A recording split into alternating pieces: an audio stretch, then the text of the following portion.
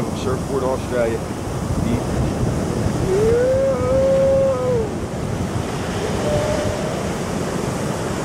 What a champion. That was awesome.